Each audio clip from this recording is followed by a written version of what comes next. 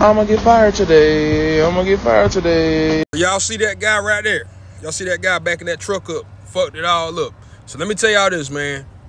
I, I like to joke about stuff, but one thing I don't joke about is getting out to look. I always got to get out and look. The job site I've been going to lately, so they got these little rebar things set up, like four pieces of rebar, and then they put tape around it, because they have like holes in the ground. And so you got to back your trailer up and you got to maneuver around and stuff like that. So um, it's kind of hard, man. And you can't see on your right side, so you always got to get out and look. So about three years ago, I was up in New Jersey at a job site, backing up, just a regular day. All of a sudden, I'm sitting right here in the driver's seat. All of a sudden, boom! I heard, I heard, I hit something on my right side. Then I see water flying up in the air. Guess what I hit? Now, if you look right there, you see it got a crack in it right there. And you see some red paint. My whole bumper got tore off, but they ended up fixing the bumper.